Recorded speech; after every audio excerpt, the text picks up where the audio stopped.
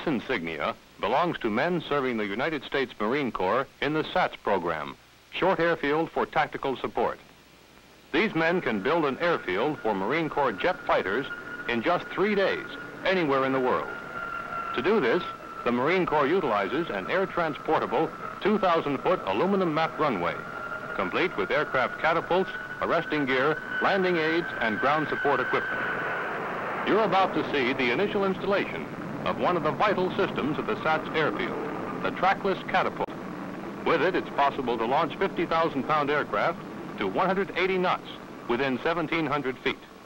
Without it, a SATS airfield would be considerably longer, sharply reducing its mobility and utilization. This catapult, designated the CE-2, was developed by the Naval Air Engineering Center and All-American Engineering Company.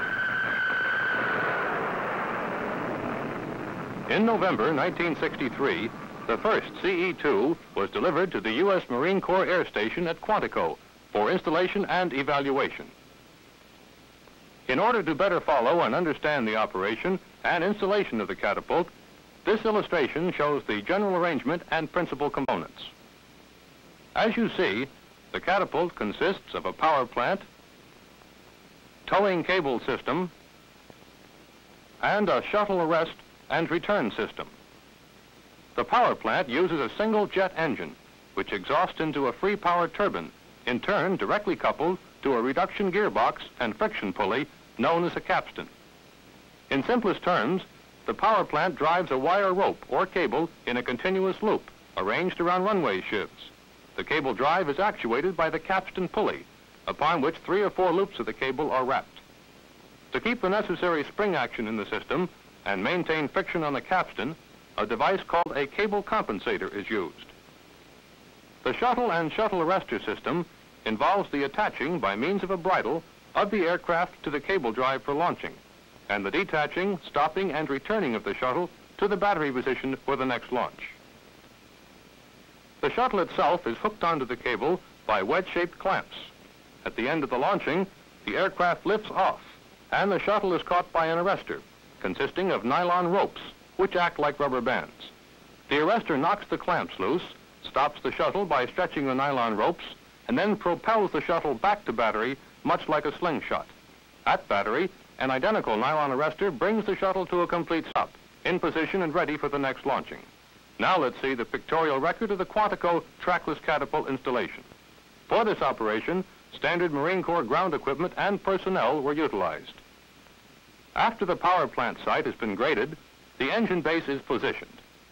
Once the base is in place, Anchoring pads are connected to it, and light but strong aluminum stakes are placed in position. As you can see, they're easily handled. The stakes are driven into the ground through holes in the anchor pads by air hammers. These stakes take the shear or horizontal ground loads developed during launching. Next, adjustable mountings for the power plant are brought up and attached to the top of the base.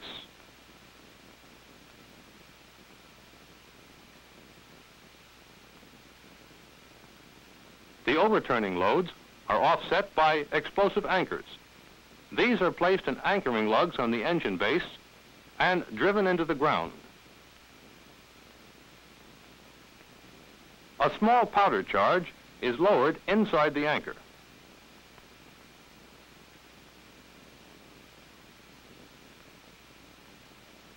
A cap is placed over the anchor, and then the powder charge is exploded below the surface.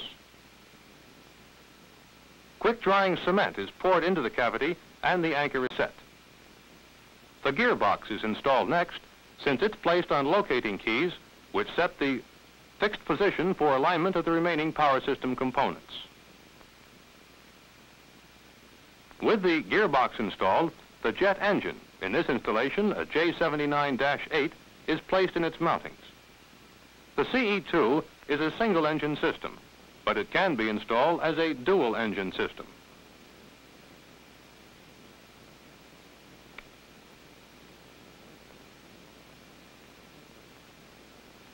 An inlet duct, known as a bell mouth, is then placed on the front of the engine. Now the power turbine, which is the actual direct power plant of the catapult, is placed on its adjustable mountings. And fitted to the exhaust of the jet engine.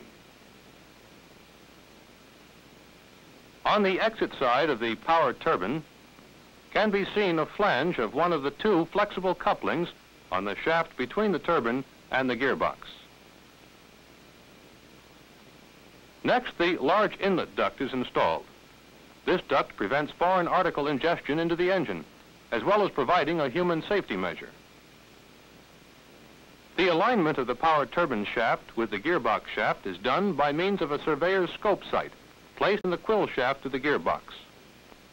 By sighting through it to a small mirror attached to the center of the turbine shaft, the power plant can be optically aligned in the field.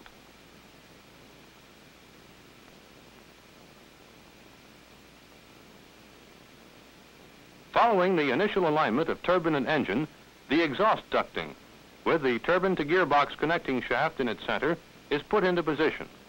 The purpose of the exhaust duct is to divert the hot exhaust gases vertically and aft of the power plant. This eliminates hot air re-ingestion, which can cause flame out of the jet engine. Notice, too, the flexible coupling between the exhaust duct and the gearbox. Then the installation of the capstan, or friction pulley, mounted on the output shaft of the gearbox. On the opposite side of the capstan shaft, a friction brake with cooling lines and ducts is installed. The brake holds the cable when placing the aircraft on the catapult and stops the cable after a launch. Flexible cooling ducts connected to engine compressor bleeds provide a steady flow of air through the brake. With the placement of the friction brake, the power plant installation is complete. Now the cable compensator is put in place next to the power plant base and connected to it by ball lock pins.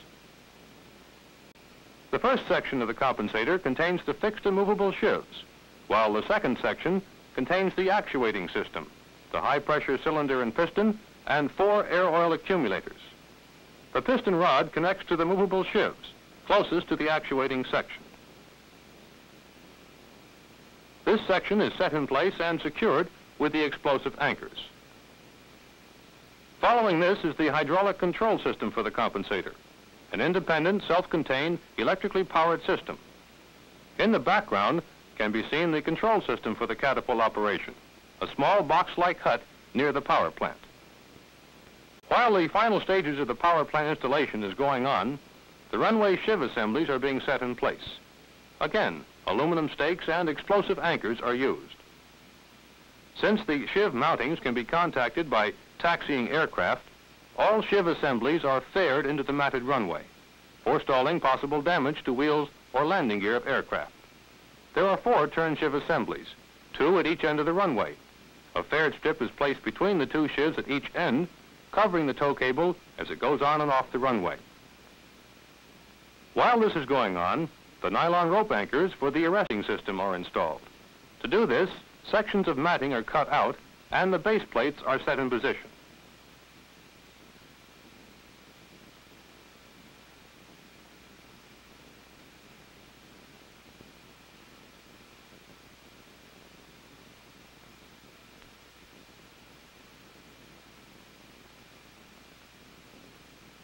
The arrestor rope turn sheave assemblies and anchors are mounted on top of the matting. Again, since the turn sheave and anchor assemblies are on the runway itself, fairings are set in place over the turn sheave assemblies. For this, long spikes are used, set in the same manner as the aluminum stakes. Then the lightweight cable return trough is assembled and set in place alongside the runway. Once all the turn sheaves are in place, the cable is pulled into position on its dolly. The cable itself is in a continuous loop and mounted on twin reels. The hookup begins at the far end of the runway from the power plant.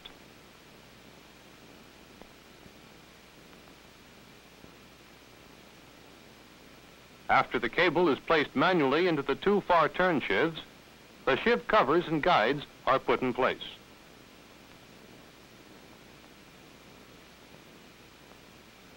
Then the dolly is towed to the opposite end of the catapult. The cable is unwound, placed in turn sheaves there, and then turned toward the power plant.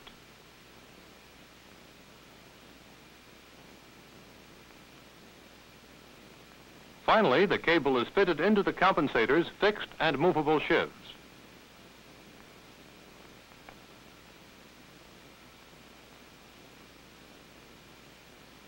and looped over the capstan.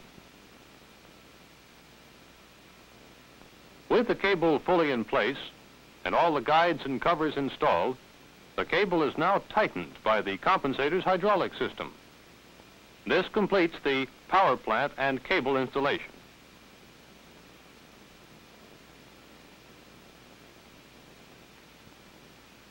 The next component of the catapult system is the shuttle arrestor. The nylon arrestor ropes which cross over the tow cable are threaded from one anchor through and around the turn sheaves and back to the other anchor.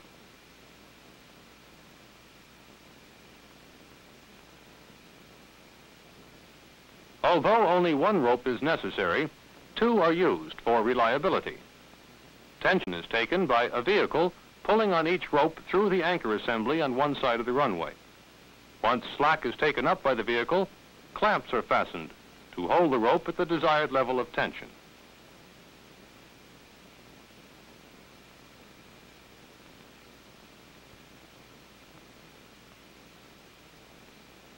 To prevent wearing of the nylon by the cable, and to make sure the shuttle will hit the arresters, a metal cylinder called a fair lead is installed over the tow cable and with a loop on top of it for the arrestor ropes. This ensures a fixed relationship between the cable and ropes under all conditions, as will be seen in the aircraft launching sequences in a moment.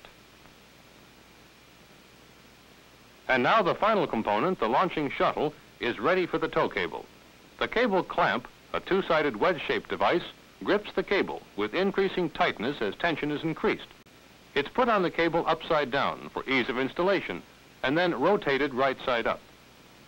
Next, the wheel ramp section, on which the nose wheel of the aircraft rests during launching. It's connected to the final section of the shuttle, the bridle retention ramp, with pin joints, allowing up and down rotation between the two sections. The bridle retention ramp is used to stop the bridle and control its position to ensure no damage to the aircraft during liftoff. At the end of the launch, the bridles drop from the aircraft and are pulled close to and held on the retention ramp. Now you've seen how the trackless catapult works and how it's put together. Let's see it in action. Everything is ready. The field is cleared and the aircraft is guided onto the ramp of the shuttle.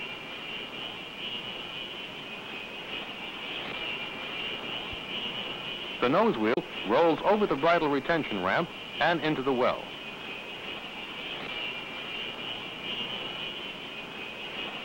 Notice the bridles hooked to the nose wheel strut of this particular aircraft.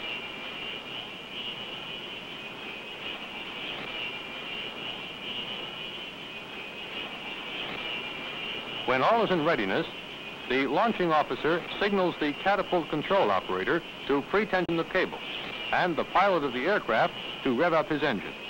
When both systems are ready, the launching officer gives the go signal. Catapult power is applied and the aircraft is launched. When it reaches flying speed, the catapult power is automatically cut. The tension in the cable releases and the aircraft rotates and lifts off. Let's see it again.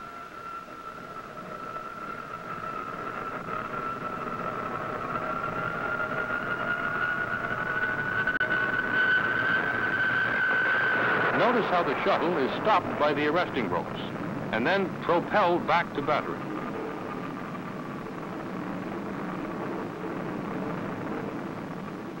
Yes, you've just seen a graphic illustration of the CE-2 trackless aircraft launcher, helping the men of SATS help provide a highly flexible and mobile capability for the United States Marine Corps.